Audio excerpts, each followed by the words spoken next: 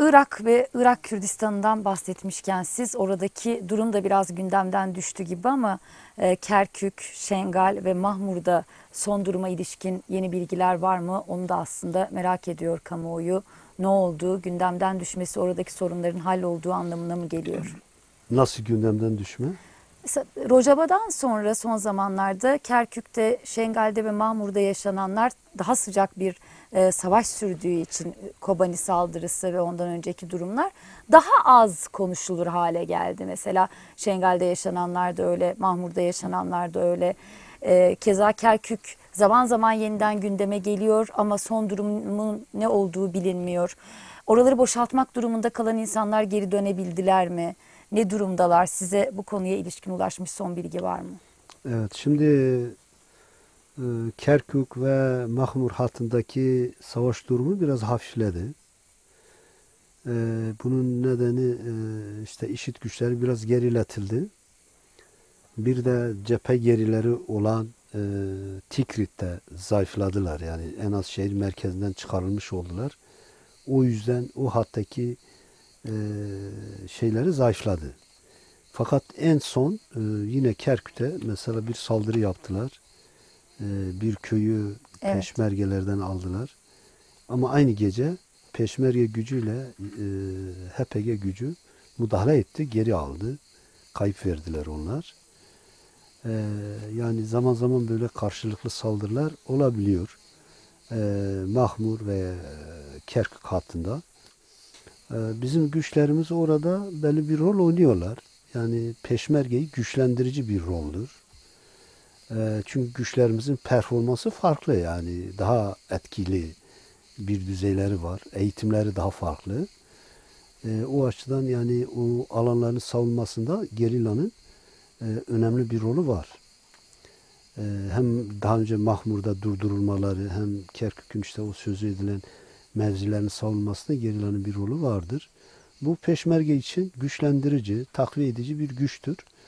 E, oradaki savunma güçlerinin mevcut durumda e, durumu böyle. E, sorun e, Şengal'dır.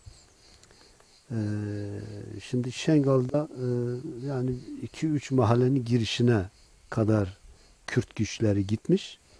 E, fakat şehir merkezi halen IŞİD'in elinde. E, yani Şengal'ın kurtarılma görevi var. Mevcut durumda önümüzdeki en temel görevlerden birisi odur.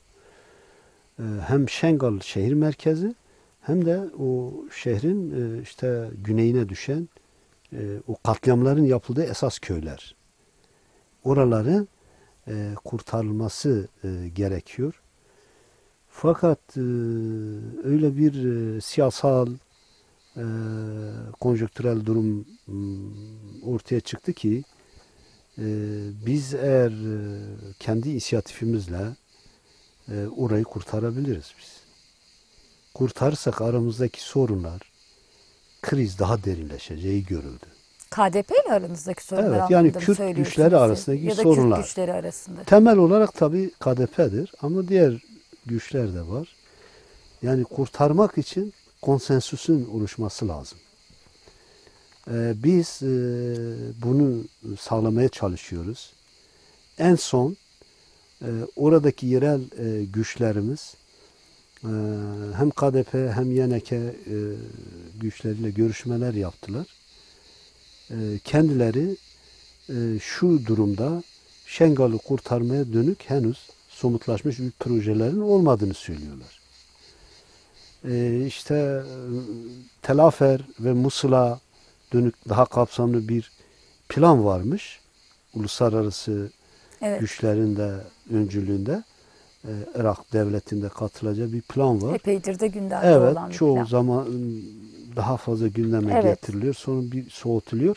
Yani orası alınmadan e, Şengal'ın alınması halinde savunmasının zor olacağı e, ama buraların alınması durumunda da kolay alınacağını belirterek şimdi somut bir projelerin olmadığını ifade etmişlerdi. Ama biz buna katılmıyoruz. Yani e, Musul'un ne zaman e, IŞİD'in elinden kurtarılacağı belli değil. Bu topraklarda Kürt kanı akıtılmıştır, katliam yapılmıştır. e, bizim e, kadınlarımız, kızlarımız daha onların elindedir. Esirdir. Pazarlarda satılıyor. Bir an önce Şengal sorununu çözmek gerekiyor. En azından belki her bir yere giden insanlar kurtarılamaz ama en az Şengal'ın kendisi kurtarılarak buna bir cevap verilmesi gerekiyor diye düşünüyoruz. E şimdi bu konudaki önerilerimiz gündemdedir. Ee, eğer ki e, e, bir yakınlaşma, bir ortak e, şey oluşursa, e, projede ortaklaşma oluşursa Şengal'ı kısa sürede kurtarmak mümkündür.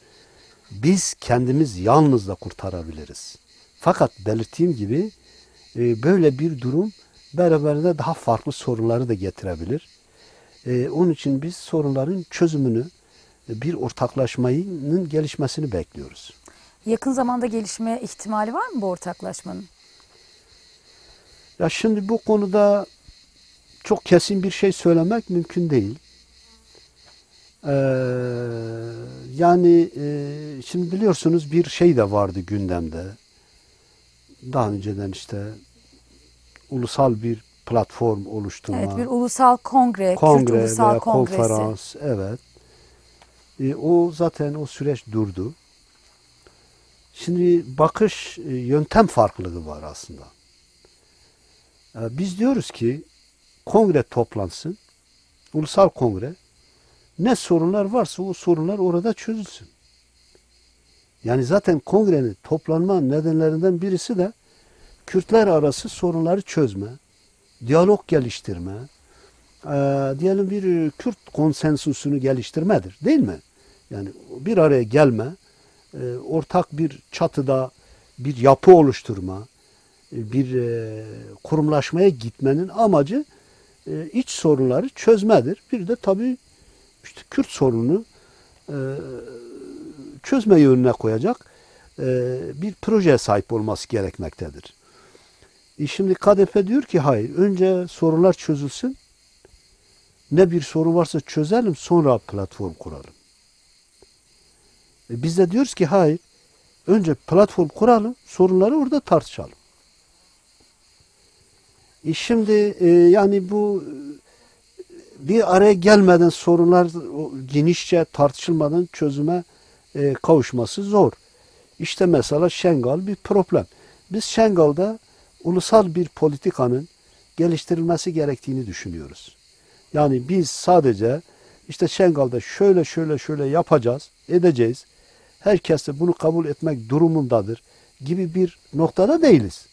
Biz diyoruz ki Şengal sorunu biz Kürtler açısından, Kürt siyaseti açısından önemli bir sorun.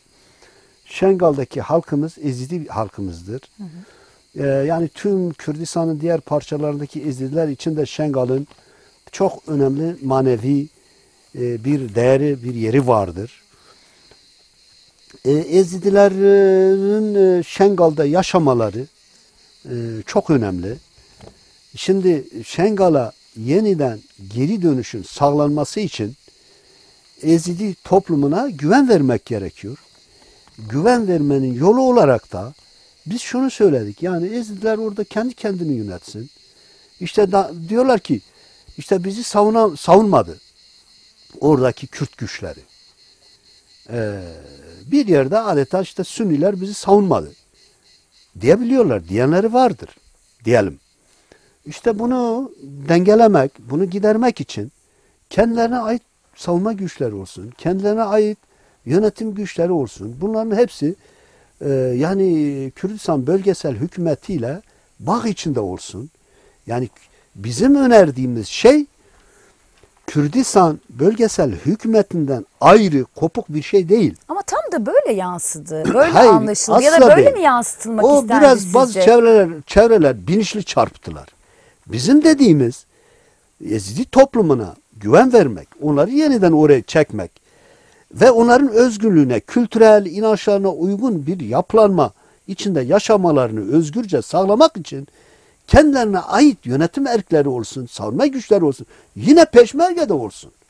Başka güçler de ek olarak olabilir yani. Fakat kendine ait güçleri de olsun. Ve bunu yani öncelikle bölgesel Kürt hükümeti kabul etmek e, suretiyle bu olabilir. Yani onlardan ayrı, onlardan kopuk e, öyle ele almadık yani. E bunu yanlış anladılar. Dediler bu koparılıyor. İşte Güney Kürdistan bir parçasıdır. Doğrudur parçasıdır. Koparan da yok. Koparmak isteyen de yok. Yani böyle bazı yanlış anlamalar oldu. Bunları- Tepkiler gelişti. Evet. Bunları Ee, gidermeye dönük peki karşılıklı bir şey oldu mu? İşte- Sonrasında temas oldu mu? işte e, daha oturaklı, birbirini anlayabilecek şekilde bir e, tartışma platformu oluşmuş değil. Biz diyoruz ki bu oluşsun, ulusal kongre çalışmaları çerçevesinde bunu da tartışalım. Ama onlar diyor hayır önce bu sorunu çözelim. İşte orada bir meclis oluştu. Yani Şengal Meclisi, halkın oluşturduğu bir meclistir. Ezidilerin oluşturduğu bir meclistir. İşte bu meclis alternatiftir. Önce bu meclis feshedilsin. Sonra bir araya gelelim gibi şeyler oldu. Yani e, böyle yöntem farklılıkları var. E, Dolayısıyla henüz Şengal sorunu bu anlamda e, çözülmesi gereken bir sorun. Ben yani aslında sorunun çözülebileceğine inanıyorum. Bizler öyle inanıyoruz. Fakat bazı yöntem hataları vardır. Şimdi mesela ilişkileri askıya alma, dondurma, bilmem işte bazı doğal, normal olması gereken bazı gidiş gelişleri böyle durdurma. Böyle yani birbirine karşı Kürt örgütlerinin yaptırım yapması doğru değil. Kimse kimsenin yaptırımlarına karşı geri adım atmaz yani. Bu bilinen bir husus. Bu bilinmesine rağmen böylesine yanlış yöntemlerde ısrar da sorunu daha fazla e, diyelim ağırlaştırıyor. E, umarız e, yakın bir dönemde bunların aşılması süreci e, gündemleşir. Yani bu konuda e, bizim bazı e, çabalarımız vardır. Hareketin bazı çabaları vardır. E, çünkü bu tarihi süreçte Kürtler arası sorunların diyalog yöntemiyle tartışılarak çözülmesi ve e, birçok e, konuda, bütün konularda olmazsa da birçok konuda ortak bir tutumu geliştirilmesi hayati bir sorundur. E, Kürt halkının çıkarları açısından, bölge demokrasi güçlerinin de çıkarları açısından e, böyle bir birliktelik çok çok önemli olacaktır. E, mutlaka sağlamamız gereken bir husustur. Ama dediğim gibi böyle problemler var. Yine Rojava ilişkin benzer. Onu soracaktım bir yandan. Rojava'da e, peşmerge güçleri de bulunuyor mu şu anda? Yok. E, ikinci Kobani saldırısından sonra Rojava'ya yeniden peşmerge gönderilebileceğine dair haberler okuduk. Doğru mu bunlar? Hayır o benim bildiğim kadarıyla tek taraflı bazı e, sitelerde, bazı basın yayın organlarında üretilmiş bir haber gibi verildi. Öyle bir durum söz konusu değil yani. Bizim bildiğimiz kadarıyla öyle bir şey yoktur. Ya Şu anda hali hazırda Rojava'da da artık o giden Kobani ilk Kobani saldırısı zamanında gidenler de geri döndüler herhalde. Evet Öyle tabii, mi? Tabii. Ve bir daha oraya bir takviye güç olarak peşmerge güçleri gitmedi diyorsunuz bildiğiniz Hayır kadarıyla. e, gitmedi. Hatta şunu da söyleyeyim. Yani o Kobani'de geri dönen 150 civarındaki peşmerge gücü e, herhangi kimseye e, haber verilmeden e, çektirildi. Tek taraflı çektiler. E, yani bizim mesela görüşümüze başvurulsaydı veya benim bildiğim kadarıyla e, PYD'nin, Kobani kanton yönetiminin ya da YPG'nin de bilgisi olmadan e, çektirildi. E, Ne sebeple artık orada ihtiyaç belki de benim e, tahminim te, Türkiye'nin istemiydi. Belki de Kobani'ye dönük o zaman Türkiye'nin biraz daha kıskaca alma benzeri politikaları vardı. Ondan dolayı çektirildi. E, ama sonra tabi durumlar değişti yani. O çekme öyleydi. Ondan sonra herhangi bir güç e, e, gönderilme durumu e, söz konusu değil. Şimdi şöyle bir şey var. KDP'ye yakın bir yapılanma Rojava'da var.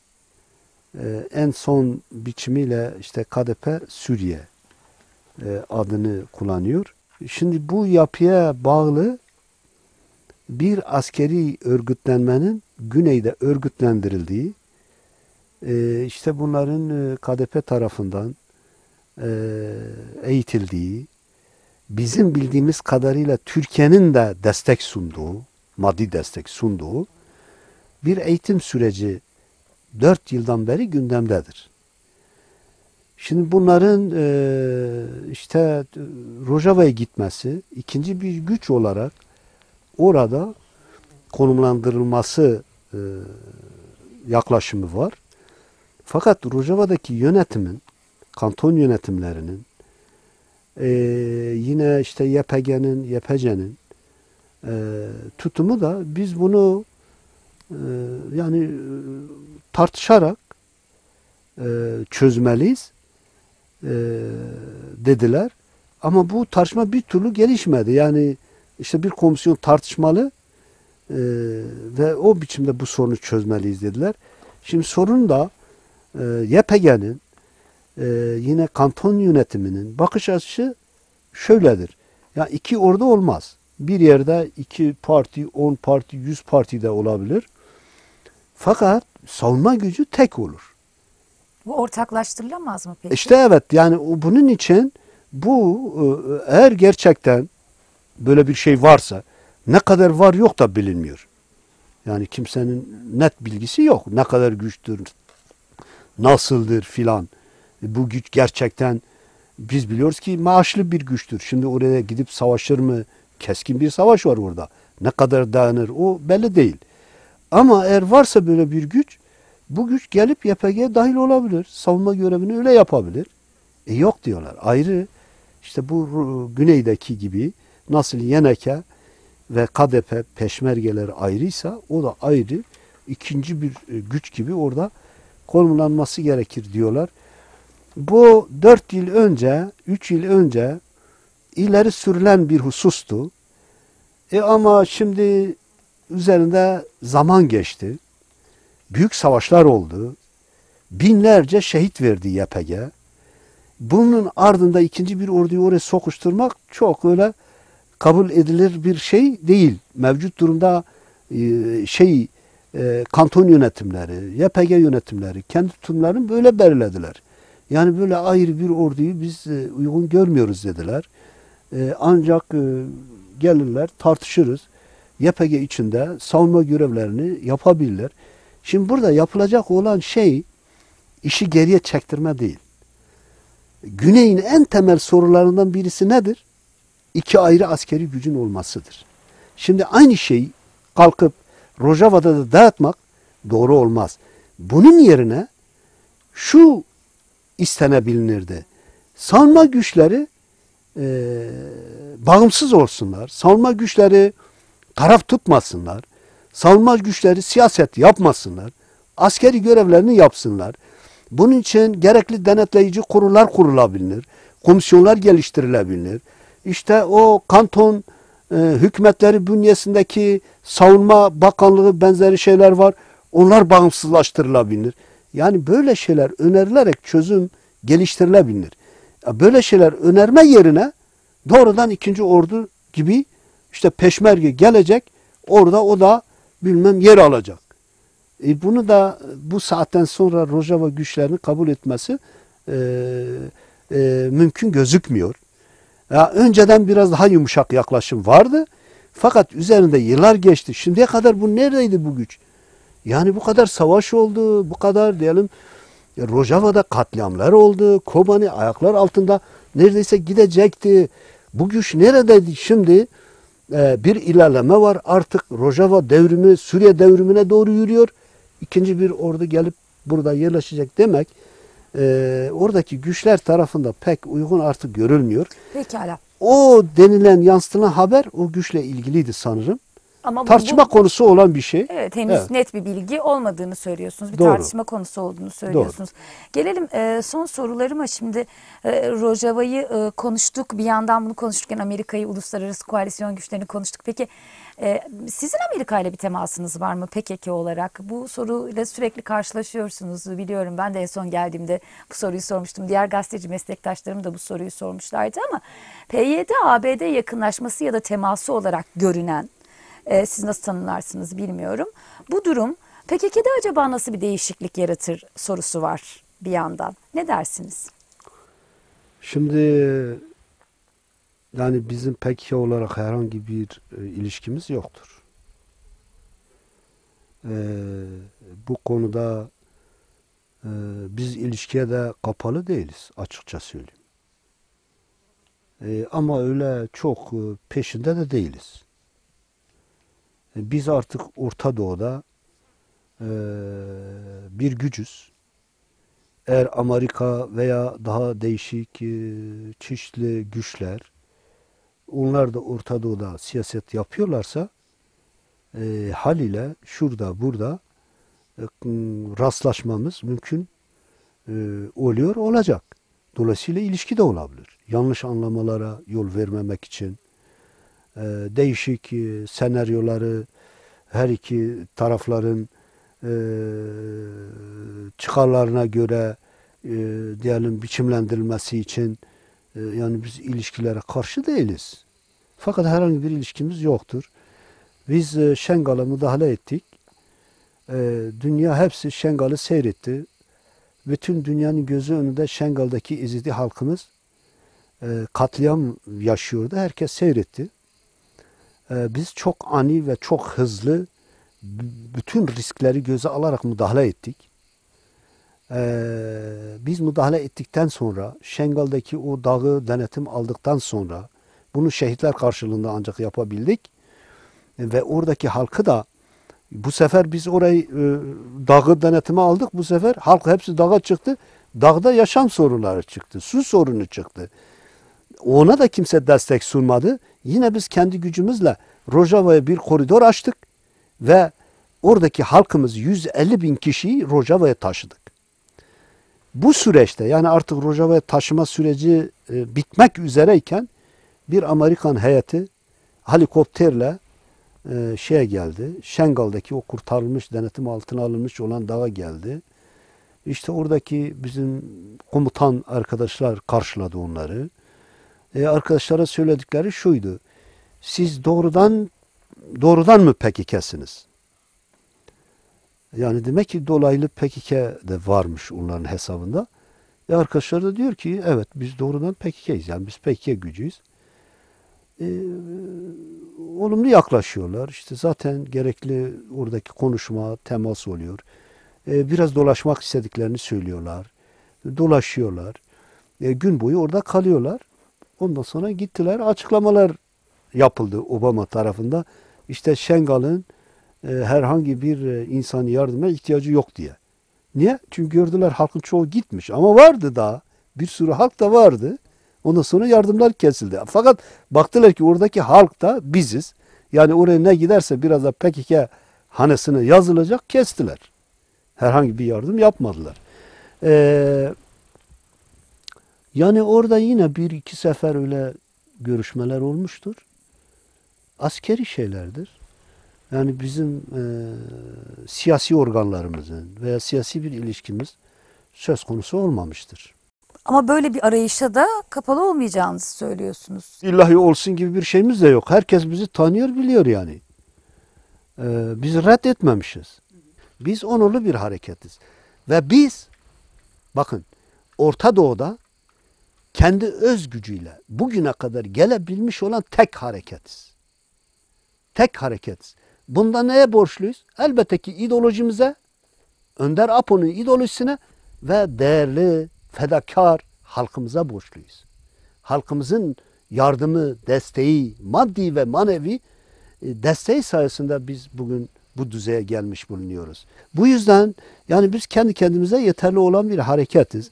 Hani bazı hareketler var dıştan destek olmazsa zaten biterler E, veya yürütemezler. Bizimki öyle değil. YPG ile Amerika arasındaki temasla ilgili bizi bilgilendirmeniz mümkün mü? Bu konuya ilişkin duyumlarınız nelerdir? Nasıl bir işbirliği söz konusu?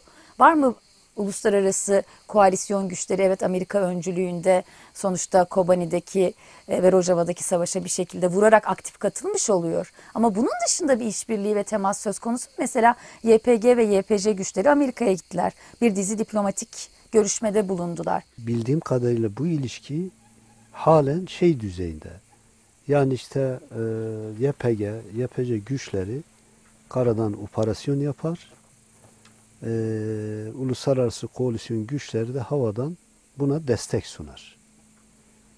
E, şimdiki ilişki ekseni budur. Yani halen e, bak net söylüyorum halen e, o Kobani'de havadan bırakılan cephane dışında e, uluslararası koalisyon güçleri tarafından YPG'ye sunulmuş bir e, silah desteği yoktur. Bu açık bir şey. E, YPG m, e, bu konuda bir e, yoksunluğu yaşıyor.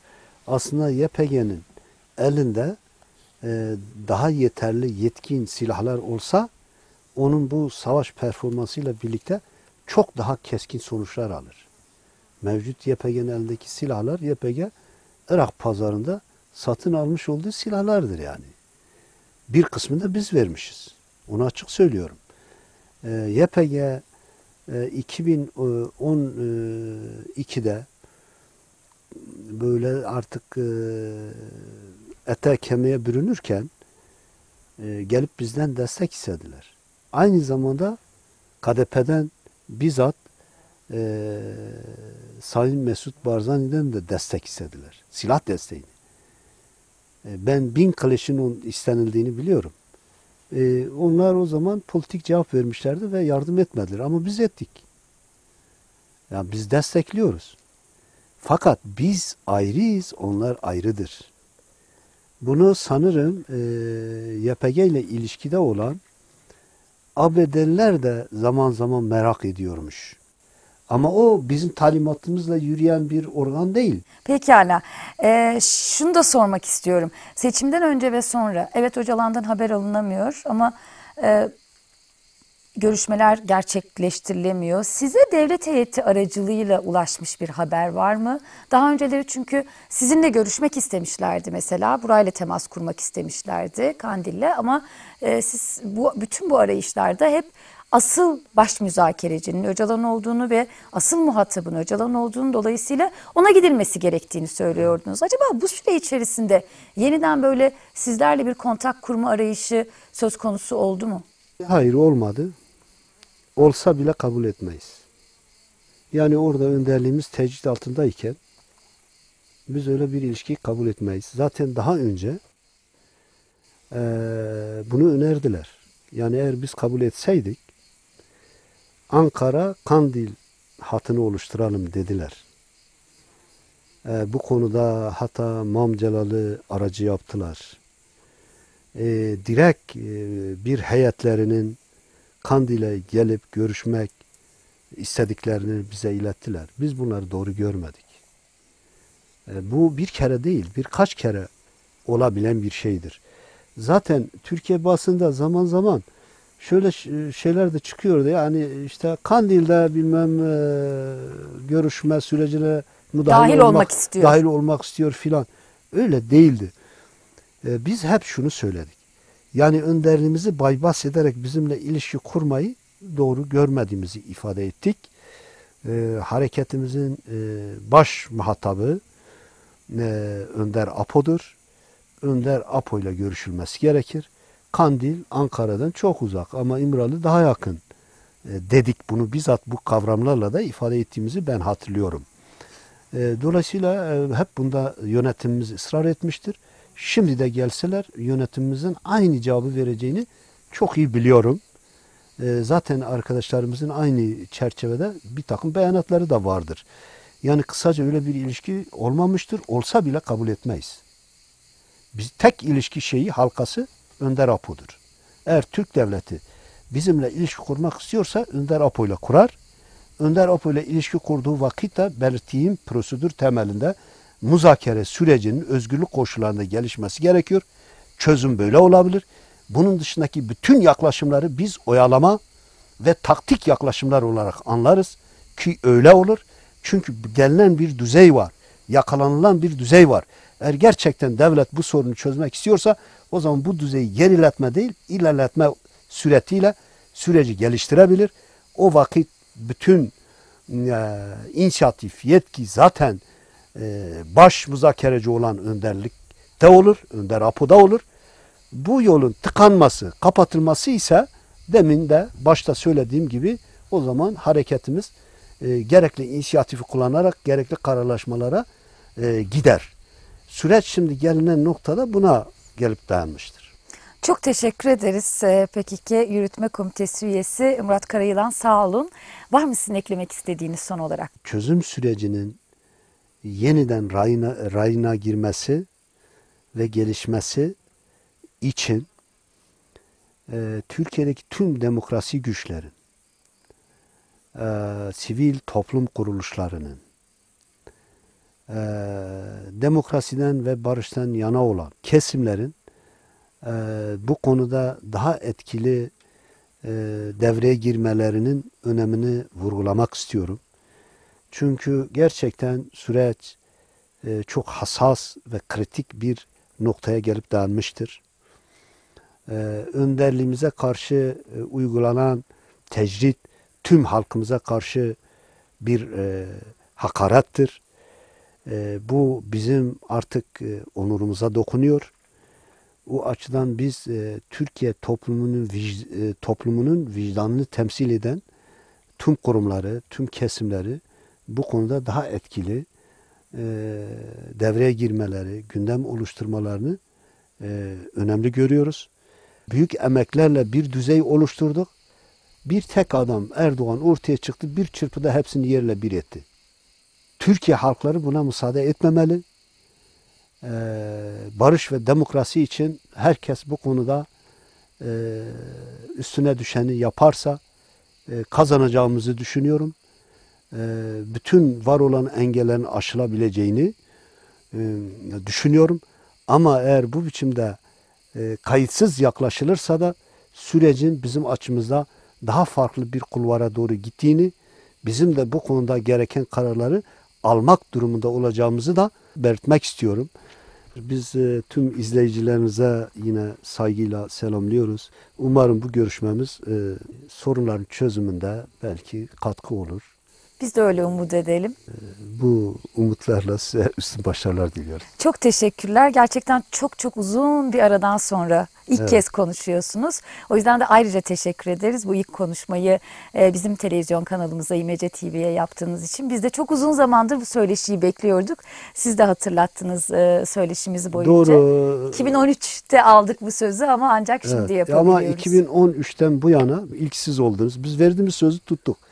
Evet, o geç de olsa 2013'te de evet dedik ki eğer yaparsak ilk sizinle yaparız. Şimdi geç de olsa ilk sizinle yapıyoruz. Çok teşekkür ediyoruz. Biz de Ee, teşekkür Çok sağ olun. ediyoruz.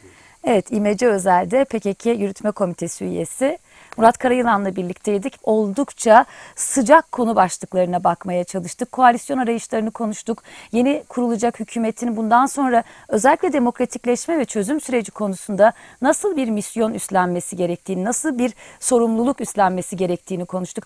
Bölge dengelerini konuştuk. Rojava'yı, Kobani'yi, Şengal'i, Mahmur'u gündemden düşmesi muhtemel bazı konuları da yeniden hatırlatmaya çalıştık. Kürt Ulusal Birliği'ni sorduk. Yakın bir ihtimal olarak gerçekleşmesi olasılığı görünüyor mu? Bütün bunları sizler adına sormaya çalıştık. Elbette takdir yine sizlerin bir başka özel söyleşide görüşmek üzere. Hoşçakalın.